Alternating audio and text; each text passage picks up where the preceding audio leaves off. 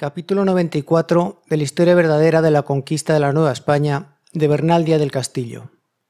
Cómo el capitán Gonzalo de Sandoval comenzó a pacificar aquella provincia de Naco y lo que más se hizo y de otras cosas más que pasaron.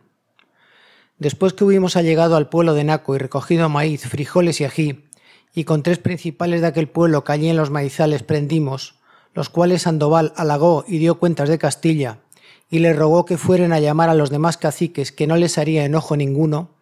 y fueron así como se lo mandó, y vinieron dos caciques, mas no pudo con ellos que se poblase el pueblo, salvo traer de cuando en cuando poca comida, ni nos hacían ni bien ni mal, ni nosotros a ellos.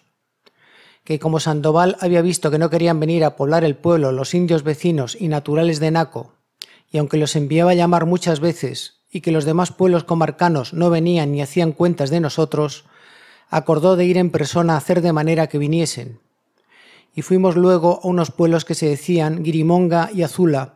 y a otros tres pueblos que estaban cerca de Naco.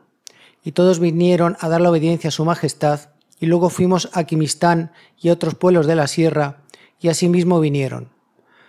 Por manera que todos los indios de aquella comarca venían, y como no se les demandaba cosa ninguna más de lo que ellos querían dar, no tenían pesadumbre de venir